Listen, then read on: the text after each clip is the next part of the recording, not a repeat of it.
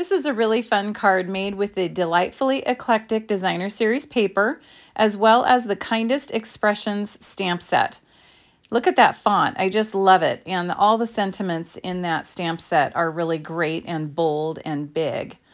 So what I'm going to do is put together this card and all of the measurements and all of the details are going to be on my website. So you'll be able to uh, find out the measurements that you want on there.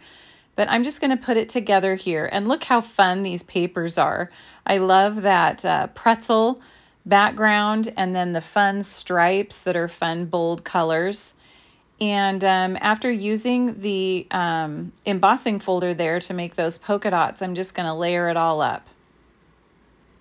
So we're going to glue the sentiment on here with some dimensionals.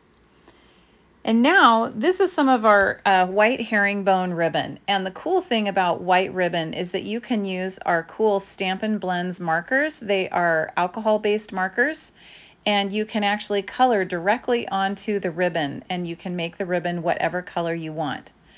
Now another thing I love about this ribbon is how you can pick it apart.